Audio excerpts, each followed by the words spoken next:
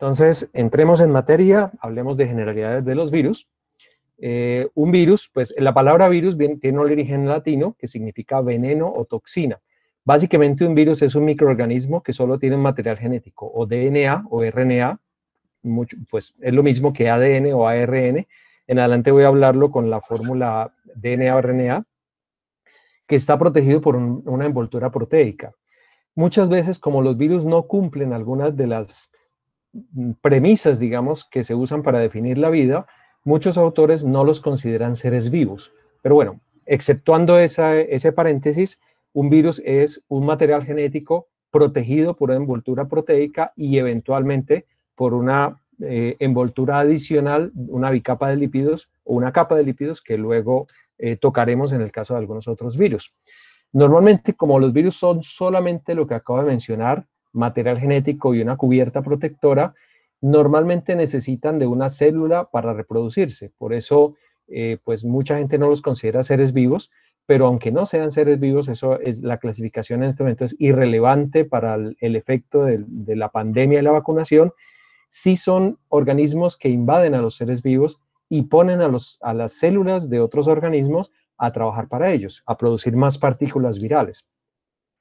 Normalmente los virus, al invadir otras células eh, y, pues entrar a producir otras partículas virales, eh, causan muchas enfermedades, causan daño en los tejidos, como ustedes pueden ver en estas hojas de una planta, o causan otras cuantas enfermedades ya como parte de su propio ciclo de vida. Entonces, a veces llegan a matar al organismo al cual invaden, el que los hospeda. Eh, y hablemos de la familia de los coronavirus muy brevemente.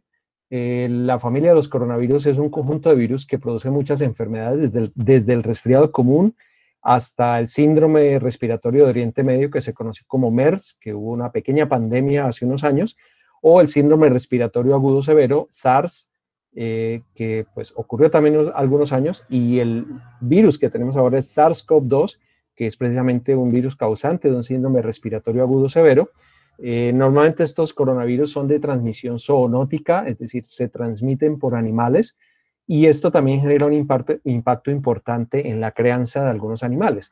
En granjas de cerdos, eh, por ejemplo, si hay un brote de, algún virus zoonótico, pues la cosa se puede convertir en, una pérdida económica eh, importante y, en la muerte de muchos de los animales que sean de crianza.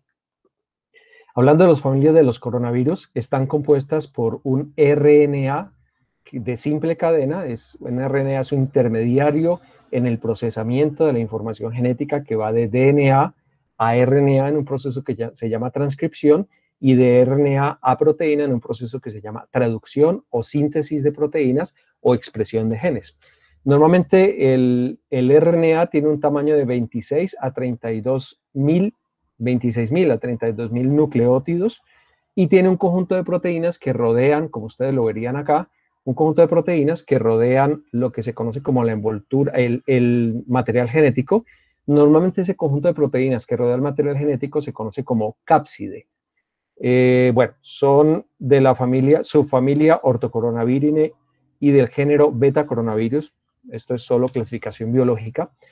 Dentro de los coronavirus, el virus SARS-CoV-2 que también se conoció como 2019 NCOV o más comúnmente como COVID-19, es un virus descubierto en diciembre de 2019 en Wuhan, China, y es causante de la enfermedad, de la pandemia actual, que por la enfermedad conocida como COVID-19.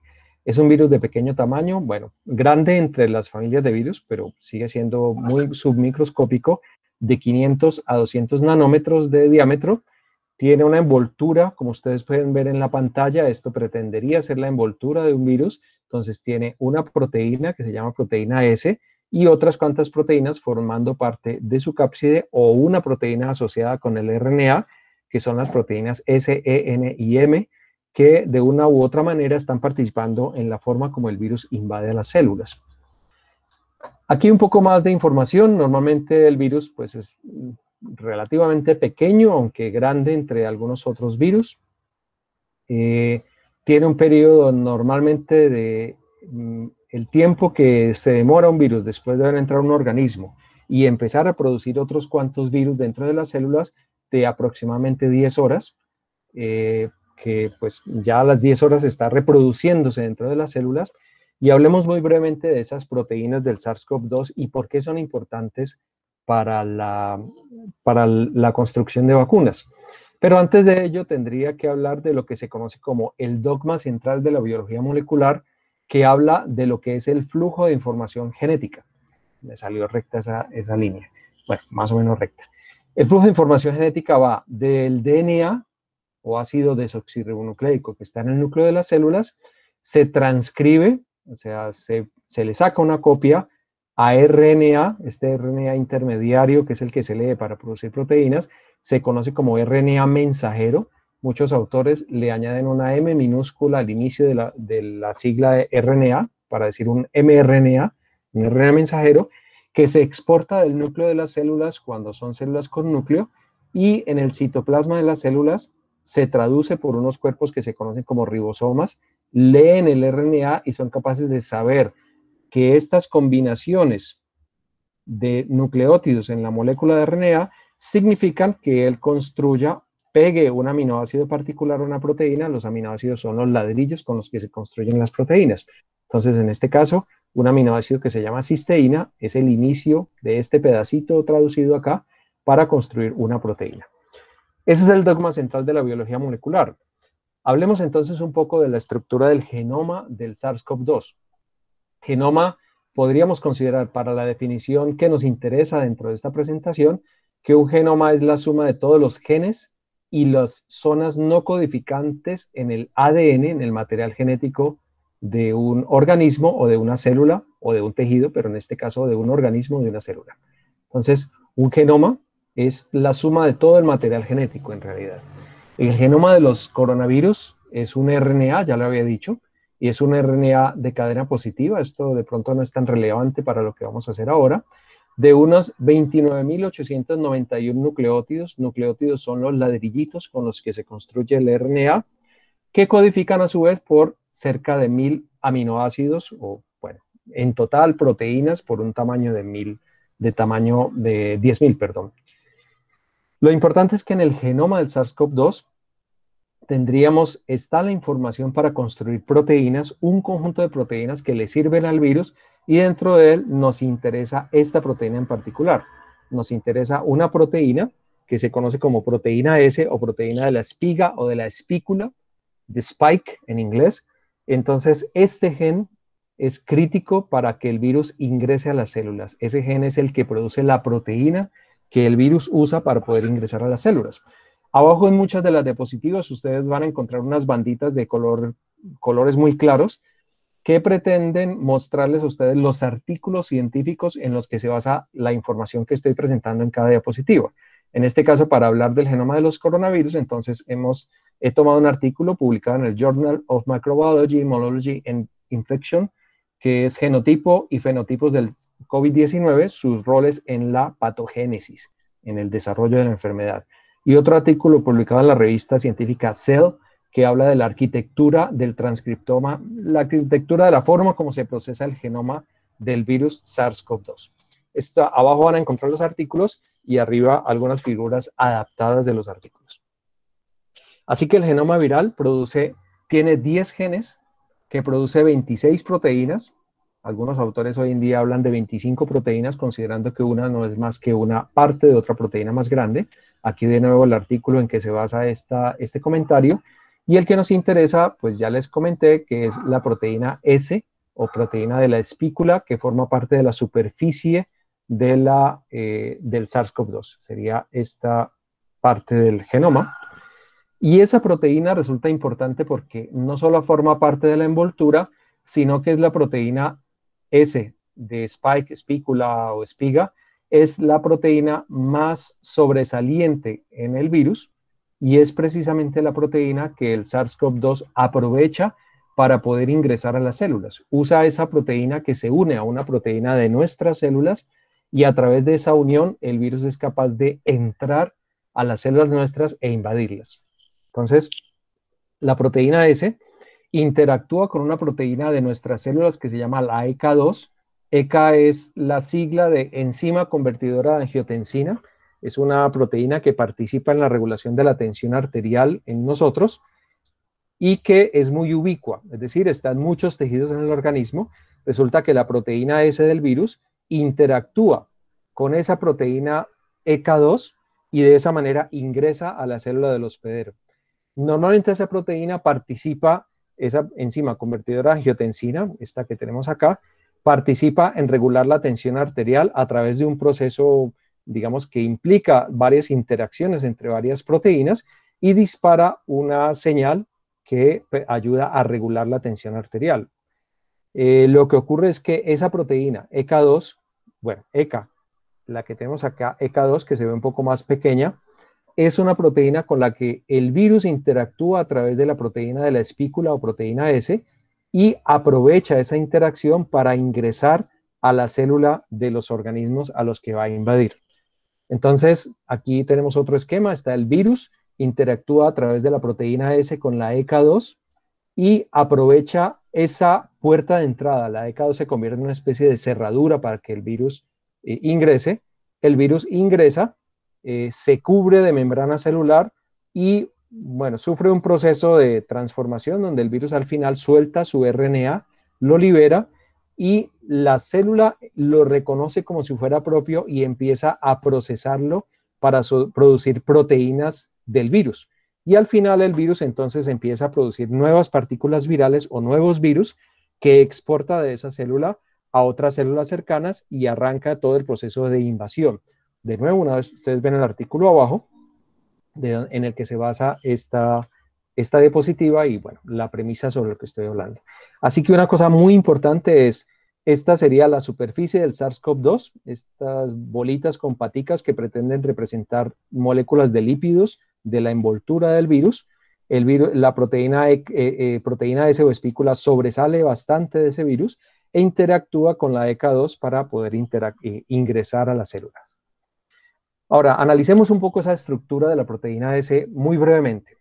Eh, de pronto esta diapositiva no es tan crítica desde el punto de vista de lo que necesitamos. Lo que nos interesa es que la proteína tiene zonas que interactúan con la EK2 eh, y algunas de esas zonas, dado que la proteína S es tan importante para el virus, es una proteína que no puede mutar muchísimo porque si muta, adquiere mutaciones que sean incorrectas, digamos, para el virus, el virus se haría menos activo o tendría menos posibilidades de éxito a la hora de invadir a otras células.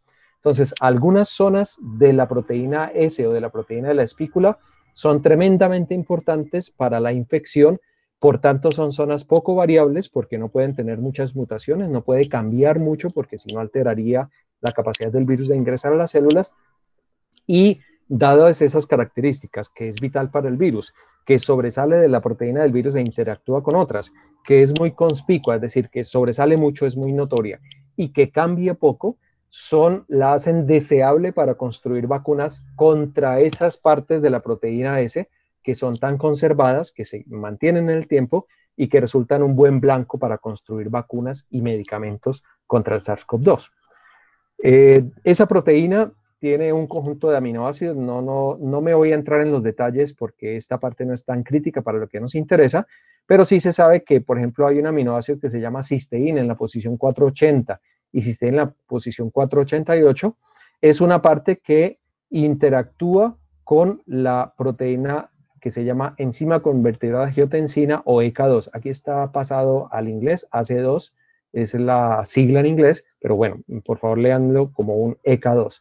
Hay algunas partes de esa proteína que son las más críticas para la infección, como estas, un ácido glutámico, una arginina. Bueno, de pronto esto no es tan crítico que lo conozcamos ahora, pero sí es importante recordar que hay zonas de la superficie de la proteína S del virus que son críticas para la interacción con, el, con la proteína enzima convertida a angiotensina que está en la superficie de nuestras células y es la que el virus aprovecha para ingresar a las células.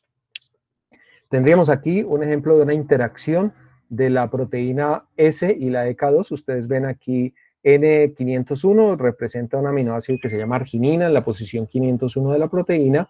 K353 sería el aminoácido lisina, interactúa a través de algo que se llama formación de un puente de hidrógeno, estos dos.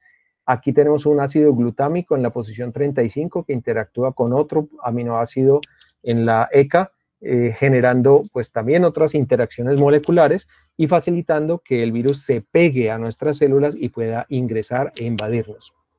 Ahora, hablemos un poco de qué es una vacuna.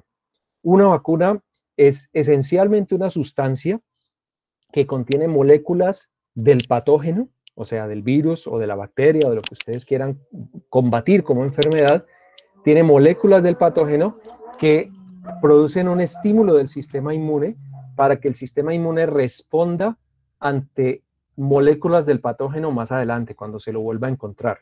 Entonces, eh, normalmente esa respuesta inmune implica producir anticuerpos, que son unas proteínas que marcan, identifican eh, a, las proteínas o moléculas de superficie de algunos patógenos y contribuye a generar una respuesta inmune consistente en, a veces, parte de la respuesta inmune nos dan estornudos, parte de la respuesta inmune nos van a dar fiebre, por ejemplo, pero importante es que el objetivo final de la respuesta inmune es destruir al patógeno que está empezando a invadir al organismo.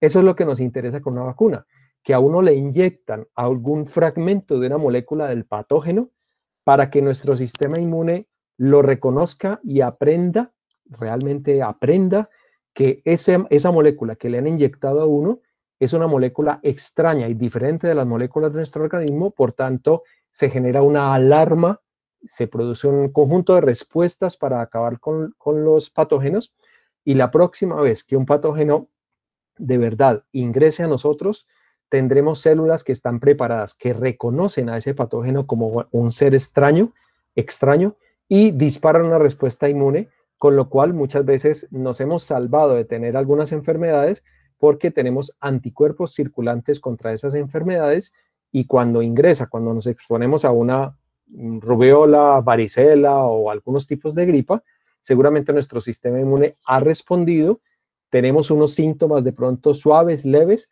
pero nuestro sistema inmune acabó con el microorganismo que nos causaba enfermedad, el patógeno, y por tanto nos protegió. Entonces, las vacunas buscan que nuestro organismo reconozca algunas moléculas del patógeno, en este caso moléculas de la proteína S del SARS-CoV-2, y genere una respuesta inmune de manera que cuando de verdad entre el patógeno, nuestro cuerpo sea capaz de reconocerlo y disparar todo un conjunto de cambios fisiológicos que tienen como fin al final terminar con el patógeno y mantenernos protegidos. Entonces, normalmente una, una, una vacuna consiste en inyectar o en dar unas gotas, porque algunas vacunas se dan oralmente, incluso algunas vacunas se eh, hacen para aspirar nasalmente. Mm, sobre todo en animales se usan algunas vacunas para introducir a través de la nariz. Eh, eh, bueno, pero el común es que las vacunas se usan para inyectar o para dar oralmente, pero en este caso las vacunas del SARS-CoV-2 son vacunas para inyectar moléculas del virus para que nuestro cuerpo se prepare lo reconozca y se prepare a una eh, potencial invasión posterior algún día que aparezca. Así que normalmente o es el mismo microorganismo muerto, inactivado, hay formas de inactivar el microorganismo y hacer que no sea patogénico, con lo cual nos inyectan partes del microorganismo, o moléculas solas aisladas del microorganismo, o los genes que producen esas moléculas esos genes que producen esas moléculas en la forma de DNA o de RNA también sirven para que el cuerpo endógenamente al interior produzca algunas de esas proteínas y genere la respuesta inmune, aunque hayan usado a nuestras propias células para producir proteínas extrañas. Entonces, lo que usa una vacuna es que se inyectan esos patógenos inactivos o algunas moléculas del patógeno los glóbulos blancos, conocidos como linfocitos, producen estos anticuerpos que pretenden ser dibujados de esta manera, como una especie de Y doble, y esos anticuerpos son capaces de identificar pedazos del patógeno y generar respuestas inmunes de manera que acabemos con el patógeno antes de que nos genere una enfermedad. Así que cuando el paciente es atacado por un patógeno de verdad, no por las moléculas que nos inyectaron en la vacunación, entonces el cuerpo está eh, listo, tiene una memoria en el organismo que lo es capaz de reconocer a ese patógeno, disparar respuesta inmune, acabar con el patógeno y eh, prevenir que nos llegue a producir una enfermedad o al menos que nos previene de producir una enfermedad grave. ¿Qué tan eficientes pueden ser las vacunas? Bueno, aquí hay un caso eh, en Europa, esto es en Irlanda, si no estoy mal, pero en algún país de Europa, en 1950 algunas enfermedades, como las que ustedes ven acá, eh, rubeola, sarampión, poliomielitis, difteria y tosferina, esta pertusis es tosferina. Este era el número de casos por cada mil, bueno, el número de casos que se presentaba en Europa, creo que es en un país de Europa, me parece que es en Irlanda, y una vez que se han hecho campañas de vacunación, este es el número de casos de esas enfermedades que se presentan hoy. Por ejemplo, de la tosferina de 3.612 casos, pasó a 165 casos, pero sobre todo de difteria, de polio, por ejemplo, y de difteria, estos dos, pasaron de polio 201 casos y difteria 136 casos a cero casos en Europa de esas dos enfermedades. A manera de comentario anecdótico, alguna vez estuve en Buenaventura, había unos médicos japoneses y estaban completamente maravillados de que en Buenaventura hubiera casos de difteria porque en sus libros de medicina habían aprendido que la difteria era una enfermedad que ya no existía en el planeta. Bueno, en realidad no existe en países desarrollados, pero en países en desarrollo sí puede haber zonas donde las poblaciones viven en unas condiciones muy poco saludables y algunas enfermedades pululan, como este brote de difteria que se dio en Buenaventura hace bastantes años ya.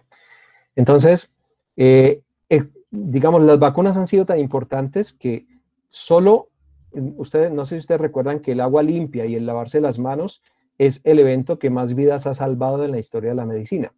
Después de, que los médicos se lavaran las manos cuando atendían, atendían pacientes y así no transmitían la enfermedad a otros pacientes, el otro factor importante fueron los antibióticos, el descubrimiento de los antibióticos por parte de eh, Alexander Fleming, pero las vacunas tal vez han sido, después del agua limpia, eh, y el lavado de manos, pues, ha sido eh, tal vez el factor que más ha sido importante para reducir enfermedades en el planeta.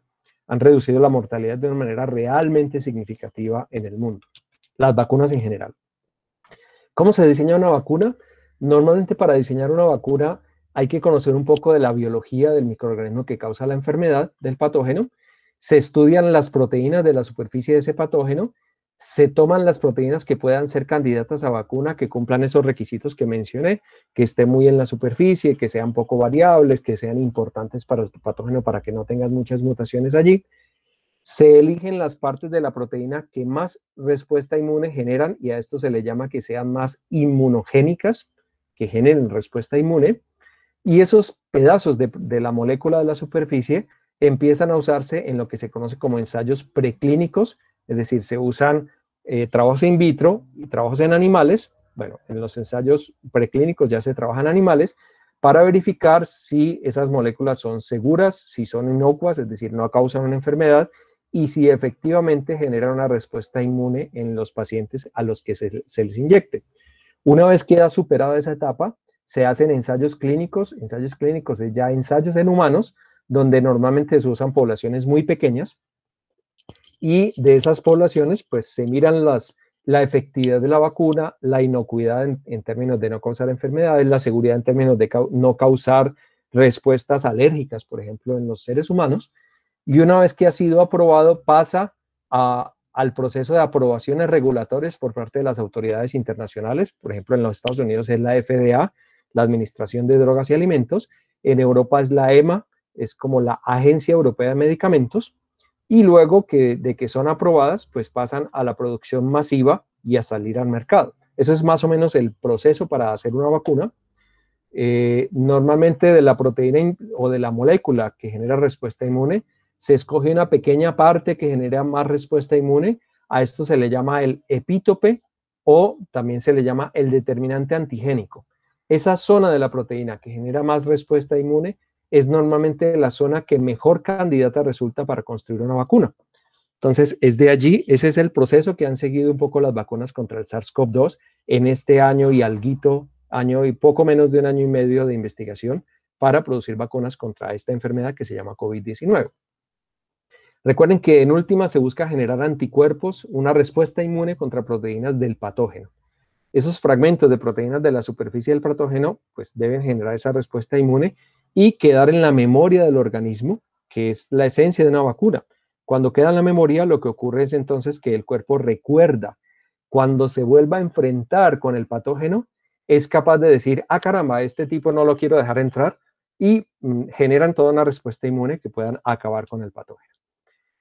Eh, bueno, esto ya lo había mencionado, se me fueron estas diapositivas en el lugar, digamos, que no era. Nos interesan las zonas de la proteína S que han demostrado ser más inmunogénicas, generar más respuesta inmune. Esos, son los epítopes de la proteína S que más respuesta inmune han generado y normalmente es de allí que se construyen las vacunas, se toman esos fragmentos de proteínas y se clonan por otros métodos de biología molecular, se clonan para producir grandes cantidades de ellos. De hecho, se conocen las zonas, la inmunogenicidad de diferentes zonas de la proteína S. Esto está publicado en este artículo que ustedes ven aquí.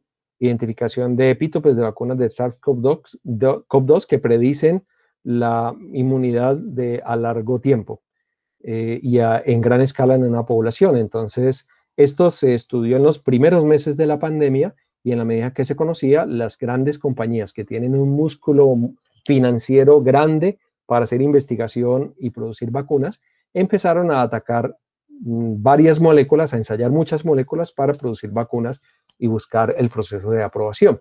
Entonces, esa, generar anticuerpos implica dos tipos de respuesta. Implica una respuesta que se llama eh, respuesta moral y una respuesta que se llama celular. No quiero entrar en esos detalles.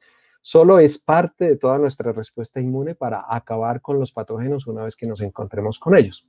Estos eh, epítopes o determinantes antigénicos de la proteína se evalúan con el sistema mayor de, el complejo mayor de histocompatibilidad, que es parte de nuestro organismo que tiene que ver con nuestra capacidad de responder a los patógenos y poderlos acabar antes de que generen una enfermedad importante. Ahora, visto esto, hablemos un poco de las vacunas contra el COVID-19, o mejor dicho, contra el SARS-CoV-2, eh, que eh, se están haciendo. Eh, para ello es importante que recordemos cómo es el proceso de aprobar vacunas. Primero hay una etapa, exploratoria que en condiciones normales toma entre 2 y 4 años y que debe llevar al descubrimiento de la molécula mejor candidata para hacer una vacuna. Una vez que ha pasado la etapa exploratoria de esos 2 a 4 años, se hacen los test preclínicos, ya les había dicho que son los test en animales, normalmente en ratones y monos.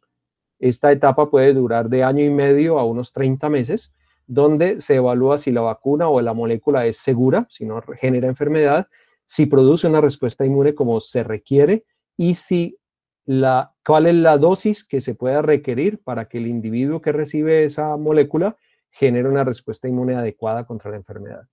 Luego pasaría a los test clínicos, donde se evalúa en pequeñas poblaciones, normalmente de 20 a 80 personas.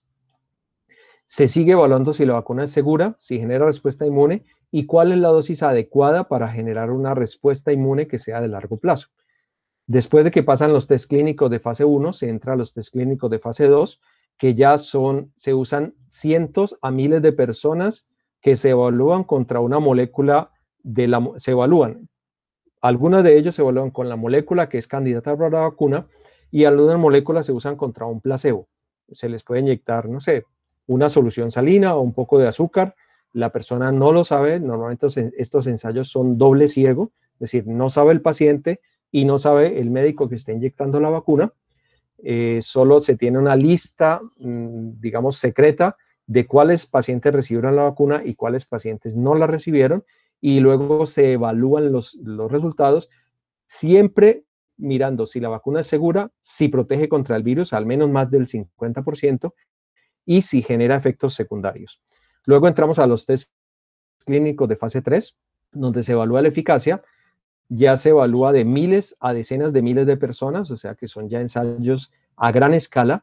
Colombia se, digamos, en parte para poder acceder a una vacuna, la vacuna de Johnson Johnson, o de la compañía que se llama Janssen, eh, aprobó, aceptó ser uno de los países donde se evalúe en fase 3 la vacuna de Johnson Johnson, donde pues, los pacientes que la reciban van a tener un seguimiento y de nuevo se sigue contestando la pregunta de si es segura, si protege contra el virus y si genera efectos secundarios.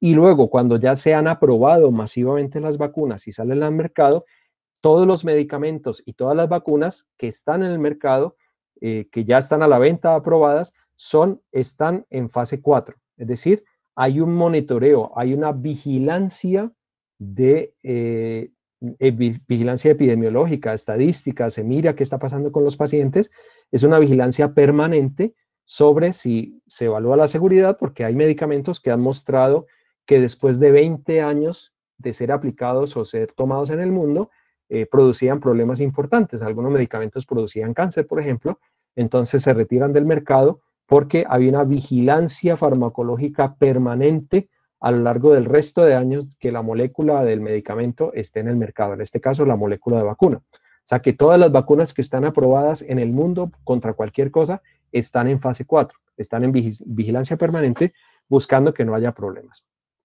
Si ustedes miran, hablé inicialmente de 2 a 4 años, 18 a 30 meses, 20 a 80 meses, eh, y aquí olvidé poner los, los tiempos de los siguientes ensayos, pero esto implica unas condiciones particulares que estamos viviendo históricamente. Y es que las vacunas clásicas pueden tomar hasta 14 años de investigación antes de ser aprobadas, pero las vacunas contra el COVID-19, dado que estamos en una situación de pandemia, es un momento histórico absolutamente único en la historia del planeta, eh, han requerido condiciones particulares para ser aprobadas y de esto voy a hablar en esta diapositiva. Normalmente una vacuna clásica implica una etapa preclínica de 18 a 30 meses. La etapa, preclínica acá tomó casi que cero meses. Se arrancaron investigaciones de inmediato a evaluar candidatos de vacunas. Entraron en fase 1, donde se usan decenas de, de voluntarios por alrededor de 30 meses. Aquí se usaron voluntarios por alrededor de seis meses estas vacunas para poder sacarlas al mercado entraron a fase 3, donde normalmente se evalúa en cientos de voluntarios por cerca de 32 meses. Aquí se evaluaron en menos de 6 meses en la fase 2. Luego entraron en fase 3, que normalmente es una etapa de 30 meses. Aquí, con miles de voluntarios, algunas de las vacunas están actualmente en fase 3, inyectándose en diferentes países del mundo. Y las que ya han sido aprobadas habrían entrado a fase 4, lo que implica la aprobación, la manufactura y la vacunación masiva donde ya se producen millones de dosis, normalmente se requerían cerca de dos años para haber entrado a la vacunación masiva. Aquí en menos de seis meses ya estamos haciendo vacunaciones en diferentes partes del mundo con las vacunas contra el SARS-CoV-2. Dada la premura con la que el planeta, la población de humanos en el planeta, requiere una solución para que no se detenga la vida de los millones de seres humanos que estamos en el planeta. Entonces, más de 135 vacunas inicialmente entraron a la etapa preclínica desde inicios de 2020. En fase 1 entraron, bueno, esto es, una, eh, esto es de un artículo de 2020, seguramente está desactualizado, pero en su momento entraron en fase 1 21 vacunas, luego pasaron a fase 1 y se aprobaron 13 vacunas, entraron a fase 2, a fase 3 de esas 3 entraron 8 y en aprobación en el momento que había hecho esta diapositiva a partir de un artículo, eh, eh, habían entrado dos. De, más de 165 vacunas contra el SARS-CoV-2, solo en ese momento, solo habían entrado a fase de aprobación, a etapa 4, solo dos vacunas. Ya ahora hay cerca de 12 vacunas que han ingresado a, fase 4, pero aquí vale la pena mm, recordar que de miles de, de, moléculas que pueden servir para vacunas, cerca del 93% de vacunas prometedoras no alcanzan a llegar a ser aprobadas porque no funcionan adecuadamente en humanos. Algunas vacunas funcionan perfecto en ratones o en monos y cuando se ensayan en humanos resulta que no funcionan. Entonces, esto implica muchos costos en el proceso de investigación y muchos ensayos y errores, ensayos fallidos con moléculas que resultan no ser buenas candidatas a la hora de la verdad.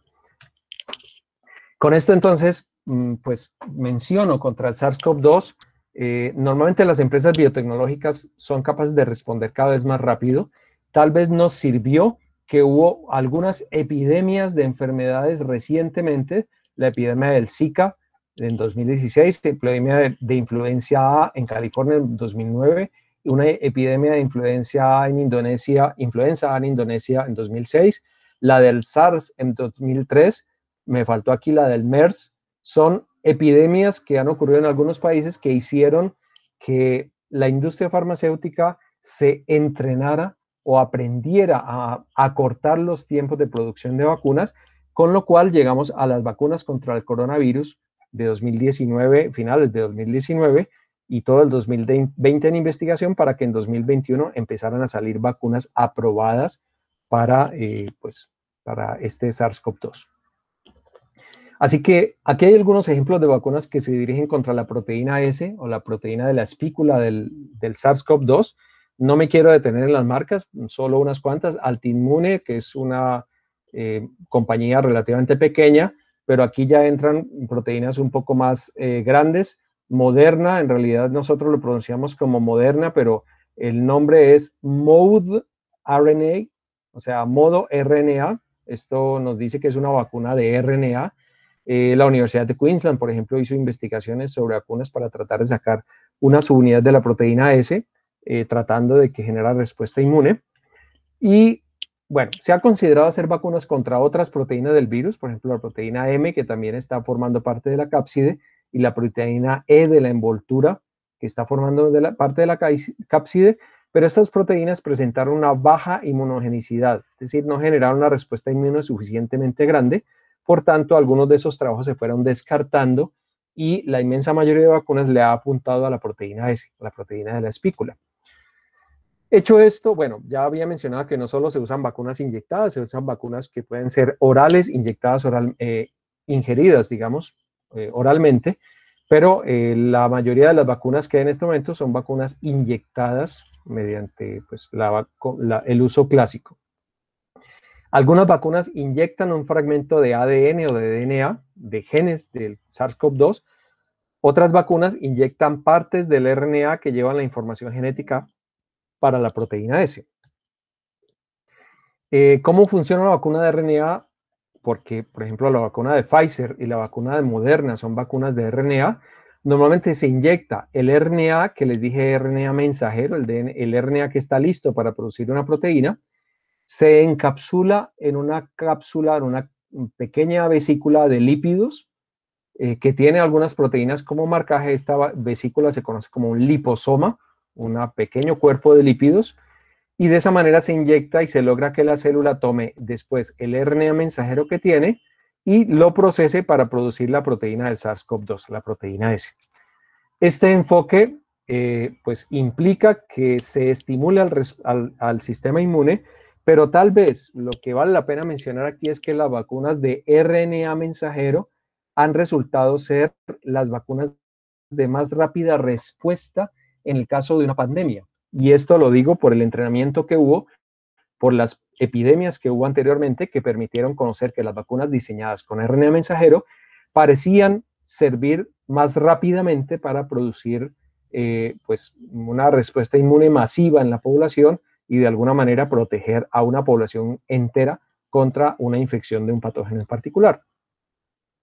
Esas vacunas, bueno, ya había dicho que consisten en inyectar material genético, ahora sí, vacunas genéticas, algunas de las marcas que están ensayando vacunas, no me quiero detener en esto, solo mencionar algunas de las marcas de las grandes compañías farmacéuticas que le están apuntando a vacunas genéticas. Sanofi, Takara, Pfizer, ya saben ustedes que Pfizer sacó Moderna, les decía que es Mode RNA en realidad.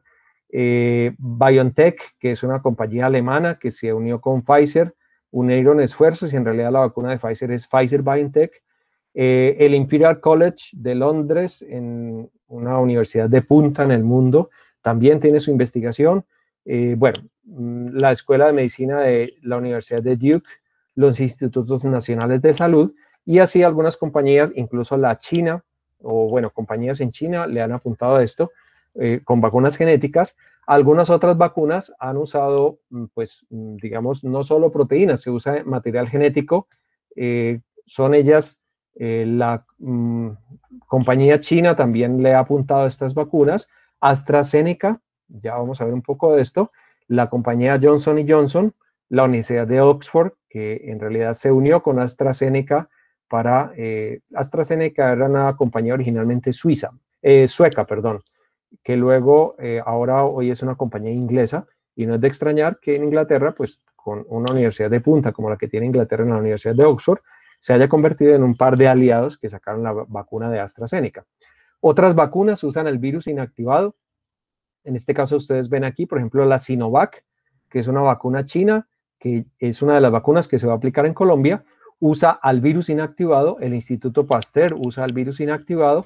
Otras compañías que ustedes ven, Merck, por ejemplo, le ha apostado a construir una vacuna con el virus inactivado para poder inyectar y sacar al mercado su vacuna. Eh, bueno, otras se basan en proteínas de la superficie del virus, estas compañías que ustedes ven allí, tal vez la que ustedes vean, bueno, la Universidad de Queensland, Baylor College de, en, Texas, eh, ¿qué otra compañía? Novavax, eh, bueno, algunas compañías le han apuntado, digamos, a este tipo de cosas.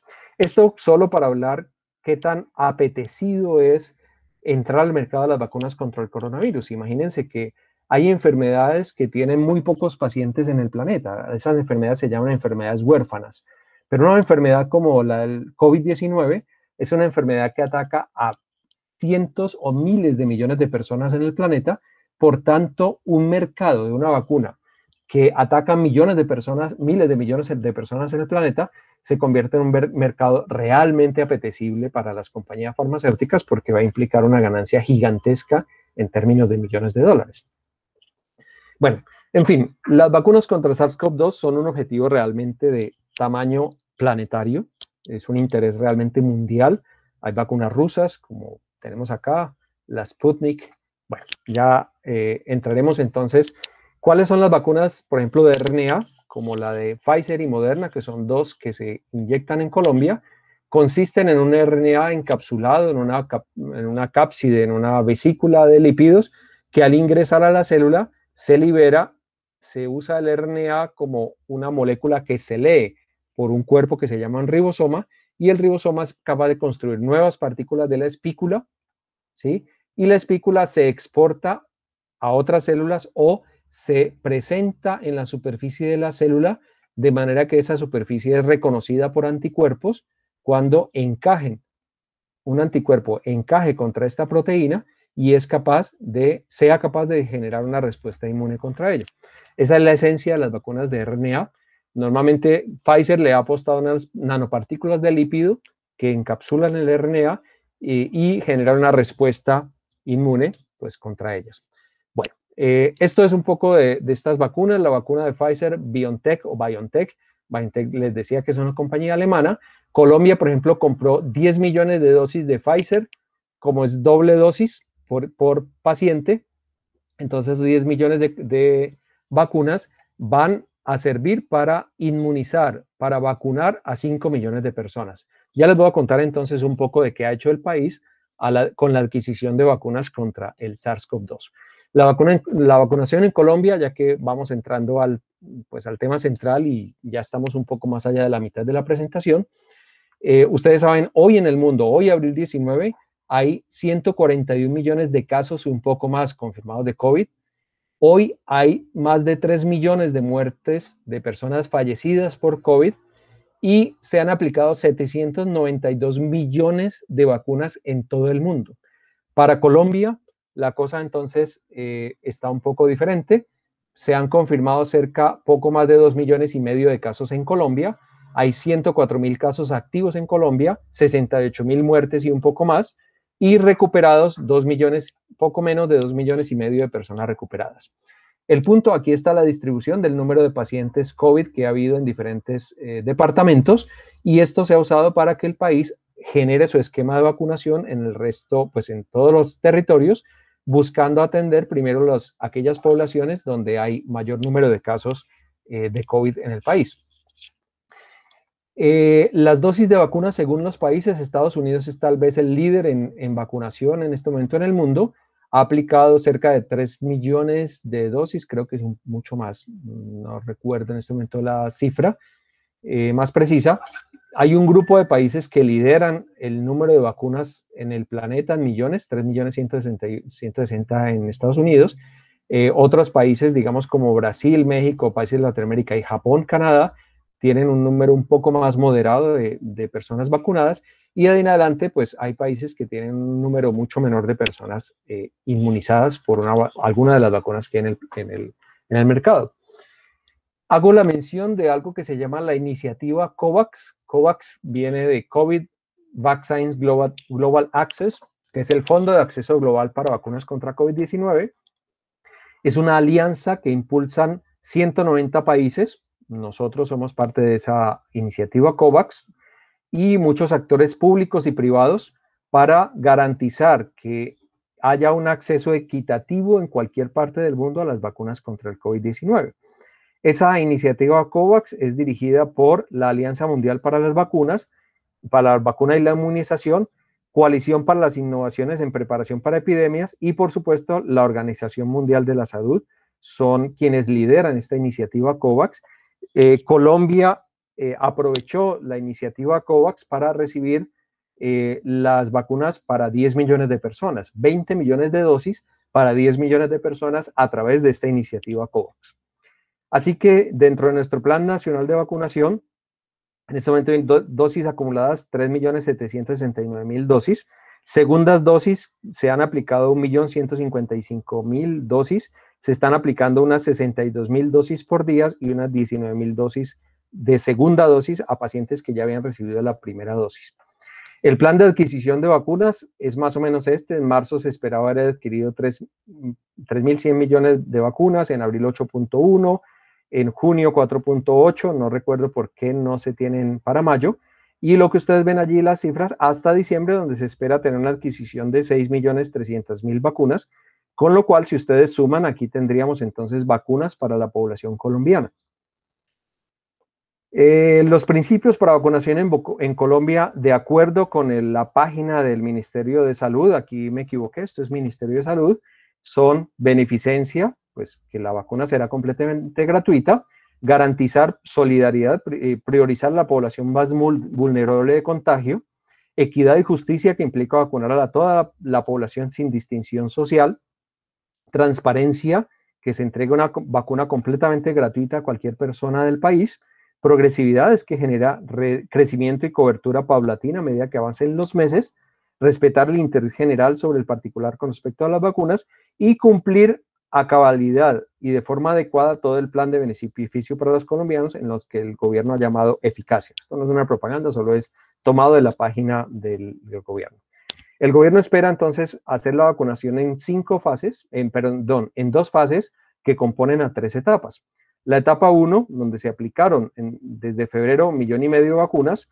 En la etapa 2 se espera aplicar 6 millones, casi 670 mil vacunas, que empezó el 8 de marzo una etapa 3 con 4.728.000 vacunas, una etapa 4 con 184.000 vacunas y una etapa 5 donde se vacuna el resto de la población. Y ya les voy a explicar qué implica cada etapa.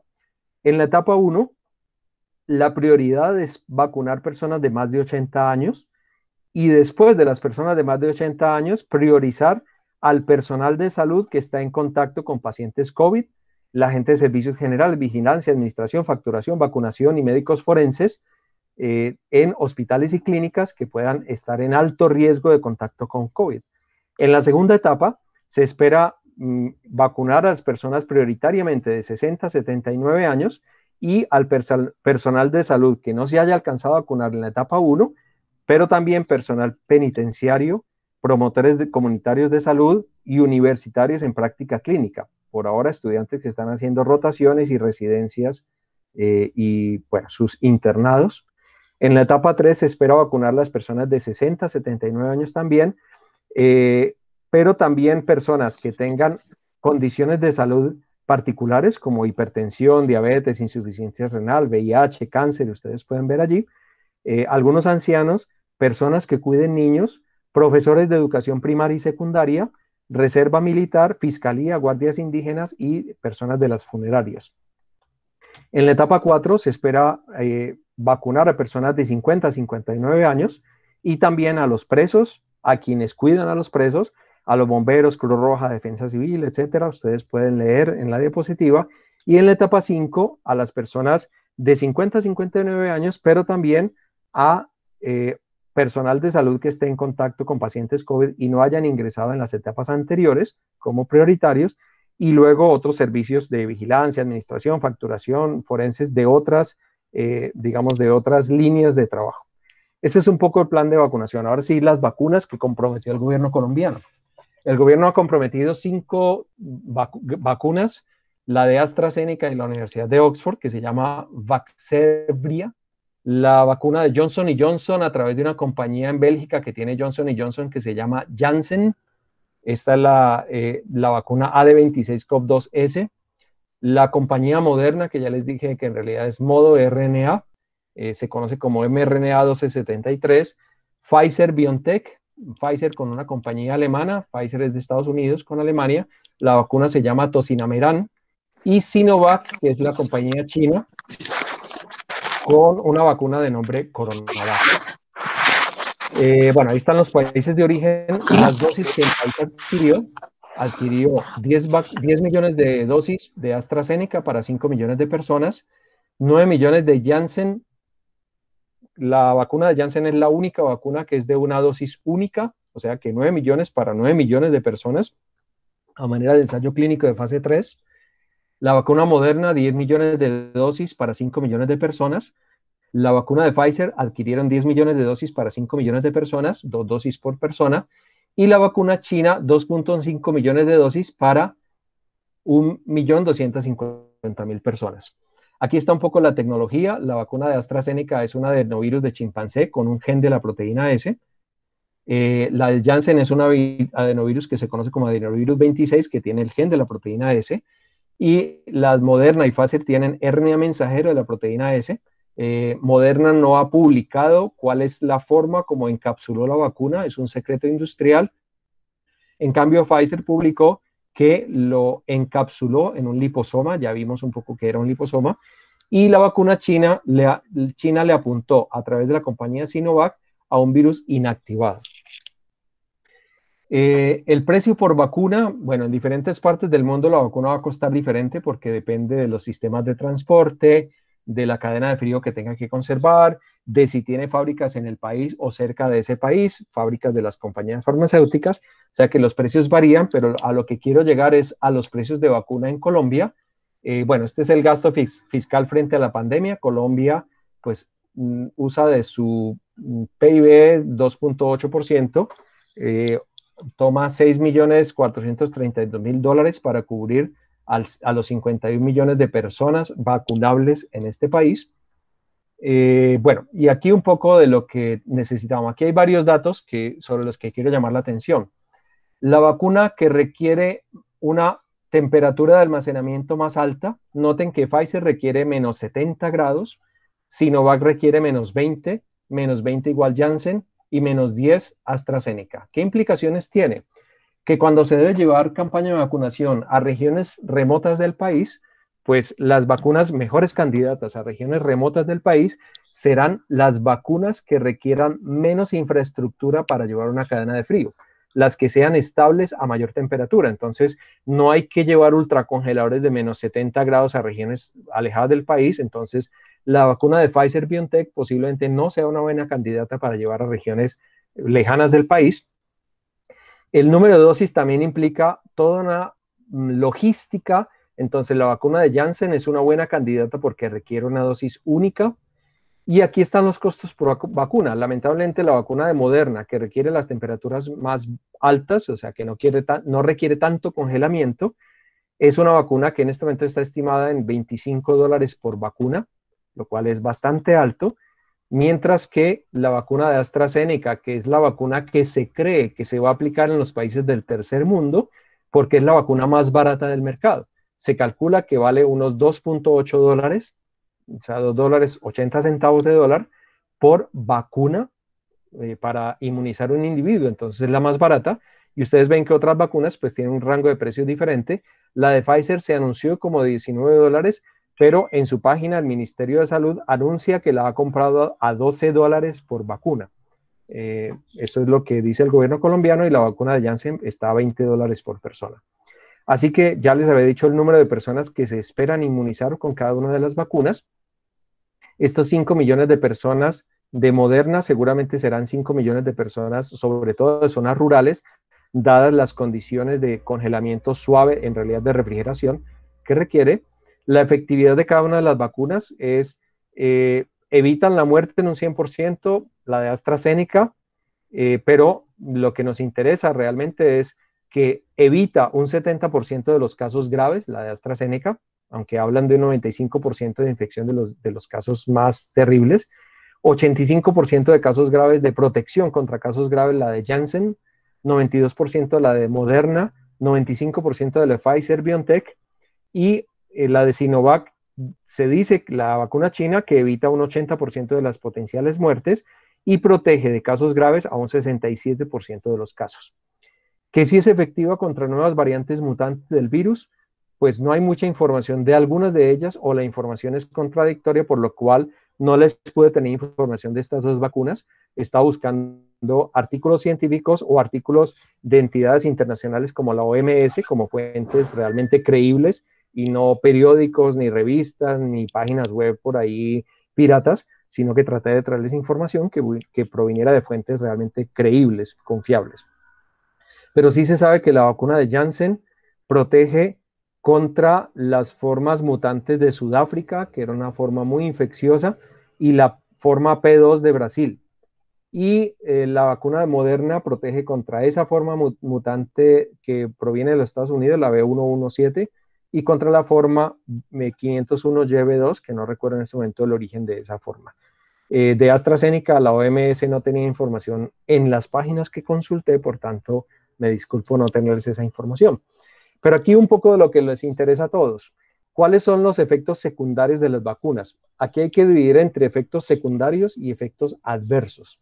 Un efecto adverso es el contratiempo médico que resulta en algo grave, en el fallecimiento del paciente o en la hospitalización o en la prolongación de la hospitalización en, el caso de que el paciente ya estuviera hospitalizado o en una discapacidad o en una incapacidad persistente o significativa o peligro de muerte. O sea que un efecto adverso es realmente grave.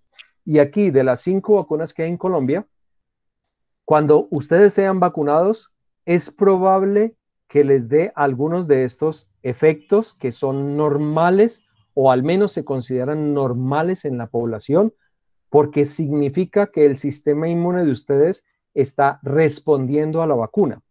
Es decir, de los primeros tres a cinco días, es posible también es posible que a ustedes no les duela una muela, pero es posible que tengan un poquito de dolor, hinchazón o enrojecimiento donde les aplicaron la vacuna, que sientan un poco de cansancio, que tengan algo de dolor de cabeza, que tengan un poco de dolor muscular, un poquito de escalofríos, tal vez dolor articular, fiebre y náuseas.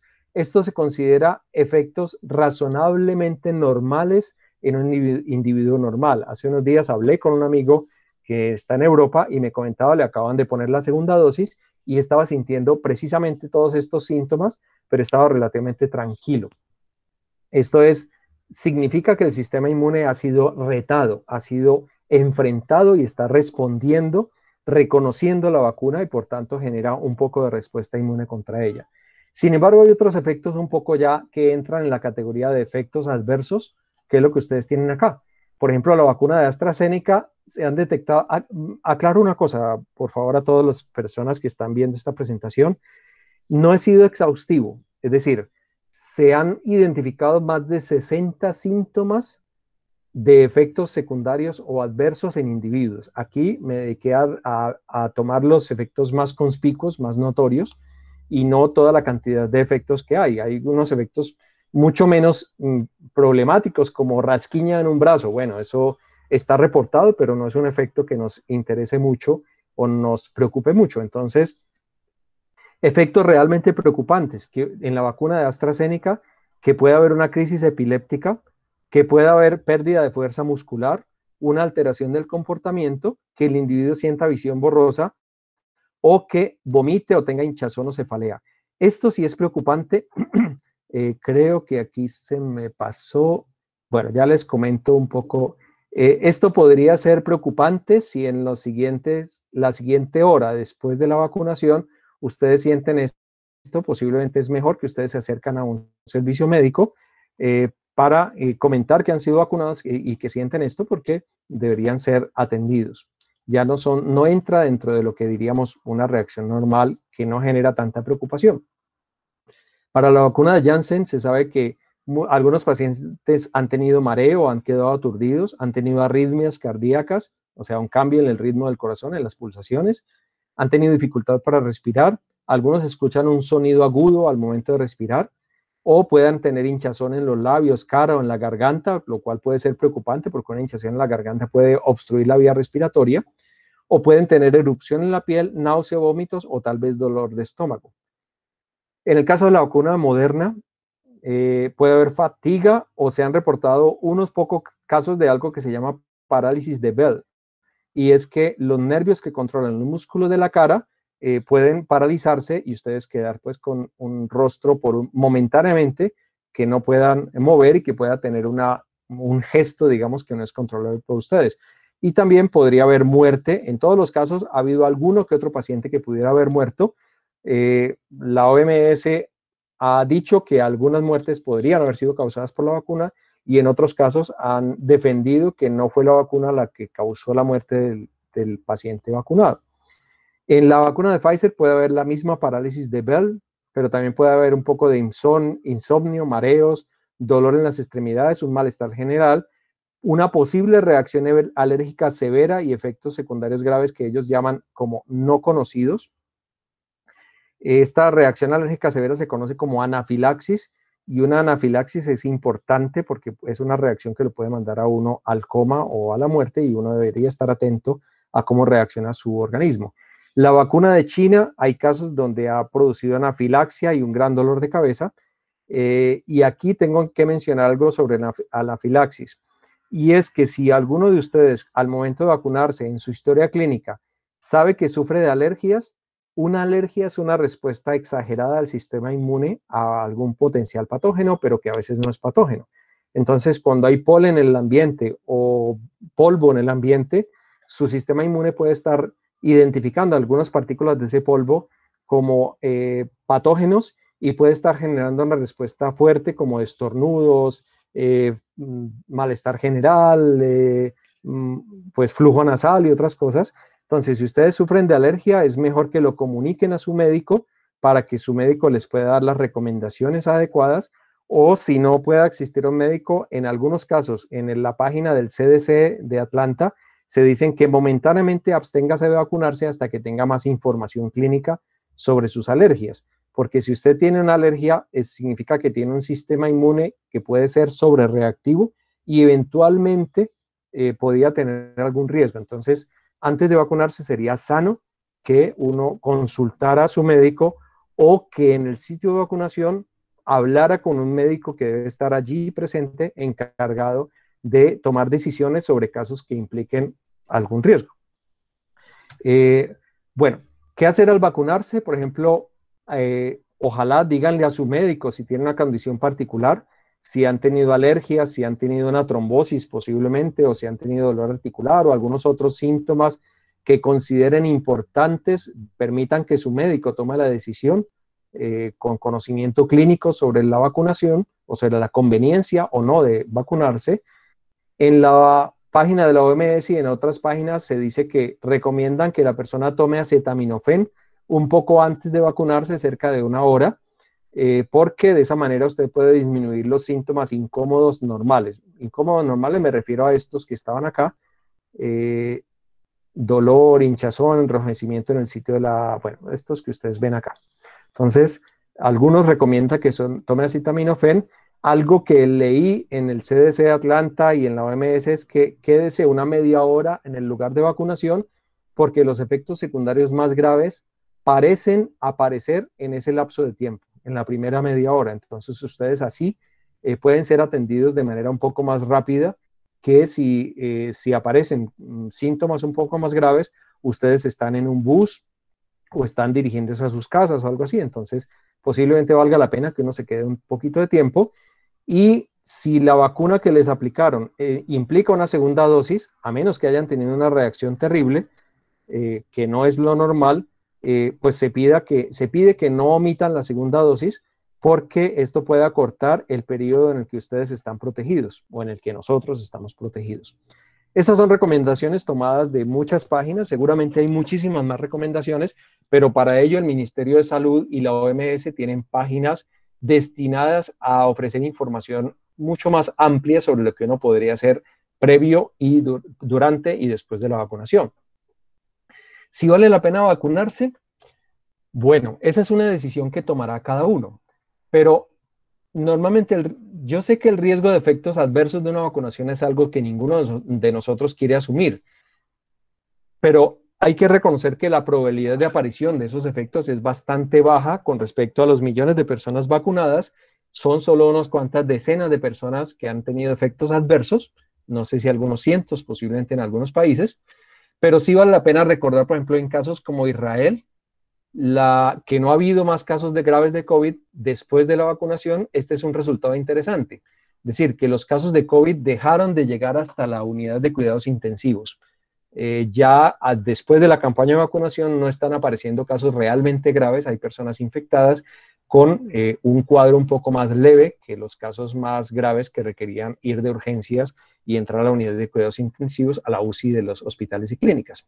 Por supuesto, la decisión es individual. Yo les recomendaría a todos que consultaran a su médico y que lean la, información seria y veraz al respecto. Si no leen artículos científicos, por lo menos vayan a las, eh, al CDC de Atlanta, al Centro de Control de Enfermedades, a la OMS, a la Clínica Mayo, a, las páginas de sitios de medicina, que son sitios serios, reconocidos internacionalmente, donde uno puede encontrar información más amplia y responder muchas de las preguntas que podría tener en casos como estos.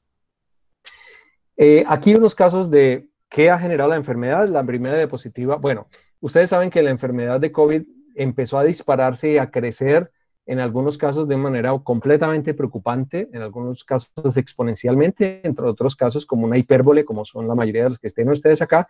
Sin embargo, les recuerdo casos como esta minimización de enfermedades de un número de pacientes grandes como eh, sarampión, que tenía 7.005 casos en, creo que en Irlanda, pasó a, aparecer, a tener 81 casos en ese país, lo cual muestra que hay una disminución notoria o en Israel, por ejemplo, donde tendrían el primer pico apareció, luego Israel empezó vacunación, el, otro, el segundo pico ya estaba en proceso de aparecer, pero una vez que pasó el, pico, cuando ya se tiene más de la mitad de la población vacunada, eh, el número de casos realmente importantes de COVID se disminuyó drásticamente, lo cual sugeriría, pero insisto, esa información la interpretará cada uno, sugeriría que realmente la campaña de vacunación ha disminuido notoriamente el riesgo de la población. Eso es un poco también el caso de Israel, donde comparan personas vacunadas versus personas más jóvenes, eh, no vacunadas, y notan que personas vacunadas, aunque sean mayores de 60 años, han, entrado a un umbral, a un rango de riesgo menor que el riesgo que tienen personas no vacunadas de edades más tempranas, de personas más jóvenes, que se consideran personas jóvenes como con menor riesgo eh, frente al SARS-CoV-2, al COVID-19. Eh, en Israel, pues eh, el número de casos de infecciones después de una vacunación completa se ha disminuido notoriamente. creo que es un caso de éxito, pero pues habría que mirar cómo le ha ido en las campañas de vacunación a cada uno de los países, porque por ejemplo en Chile, que es un líder en vacunación en, en Latinoamérica, lamentablemente Chile ha hecho las campañas de vacunación paralelas con una liberación de las restricciones. Y lamentablemente nuestras poblaciones son bastante, somos bastante tercos y le ponemos como prioridad poder salir por encima de nuestra salud y ha habido un, un recrudecimiento, digamos, del número de casos en Chile porque la vacuna no garantiza que uno no se vaya a infectar solo procura que uno no vaya a tener las formas más graves de la enfermedad. Ahora, con respecto a fake news o noticias falsas, cierro mi presentación eh, recordándoles que se han identificado más de 471 noticias falsas relacionadas con COVID Esto implica que por favor cada uno de nosotros consulte páginas serias de la OME, la Organización Mundial de la Salud, o, páginas científicas que sean suficientemente serias para que eh, dejemos de, escuchar noticias que generan un poco más de sensación de, pánico en la población, pero también pues todas las teorías conspirativas que están circulando por ahí. No estoy diciendo que no haya eh, intereses creados por allí en algunos de los casos, pero pues creo que vale la pena que uno se entere a partir de fuentes importantes. Aquí hay dos casos que fueron noticias falsas, uno de una supuesta genetista, Alexandra Henrion, entre otras cosas, ni siquiera ella es la, doctora Henrion Cloud, Cloud que mencionan, esta es una mujer estadounidense sacada de una página, es una eh, persona que trabaja sobre huesos, eh, que decía que el 30% de los vacunados morirán en pocos meses. Esto es una noticia falsa que se ha descartado ampliamente a partir de información científica eh, válida. Y otra noticia falsa, la del alemán que aseguraba tener una cura contra el coronavirus. En este momento no recuerdo qué era lo que ofrecía. Estas son noticias falsas que lamentablemente generan mucha eh, desinformación y hacen que muchas personas, pues, digamos, prefieran no tomar los tratamientos o no vacunarse o de pronto prefieran tomar otras decisiones porque lamentablemente hay información muy poco veraz circulando por ahí. Bueno, eso es un poco lo que quería presentarles. Les agradezco mucho por la paciencia, por haber atendido esta presentación